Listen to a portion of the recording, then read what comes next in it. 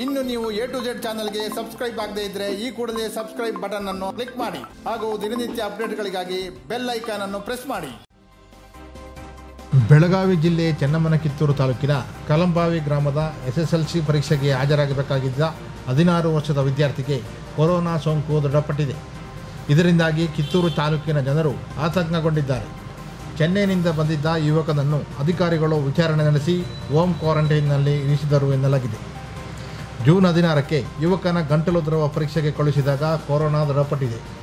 ಈ ವಿಷಯ ತಿಳಿದ ತಾಲೂಕು ಆಡಳಿತ ವಿದ್ಯಾರ್ಥಿಯನ್ನು ತುರ್ತು ಚಿಕಿತ್ಸೆಗಾಗಿ ಬೆಳಗಾವಿಯ ಬೀಮ್ಸ್ ಆಸ್ಪತ್ರೆಗೆ ದಾಖಲಿಸಿ ವಿದ್ಯಾರ್ಥಿಯ ಮನೆ ಸುತ್ತಲೂ ನೂರು ಮೀಟರ್ ಪ್ರದೇಶವನ್ನು ಸೀಲ್ ಡೌನ್ ಮಾಡಲಾಗಿದೆ ಎಂಬ ಮಾಹಿತಿ ಲಭ್ಯವಾಗಿದೆ.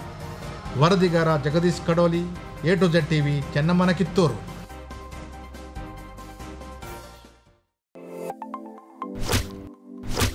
ಇನ್ನು ನೀವು ಎ ಟು ಜೆಡ್ ಚಾನಲ್ಗೆ ಸಬ್ಸ್ಕ್ರೈಬ್ ಆಗದೇ ಇದ್ರೆ ಈ ಕೂಡಲೇ ಸಬ್ಸ್ಕ್ರೈಬ್ ಬಟನ್ ಅನ್ನು ಕ್ಲಿಕ್ ಮಾಡಿ ಹಾಗೂ ದಿನನಿತ್ಯ ಅಪ್ಡೇಟ್ಗಳಿಗಾಗಿ ಬೆಲ್ ಐಕಾನ್ ಅನ್ನು ಪ್ರೆಸ್ ಮಾಡಿ.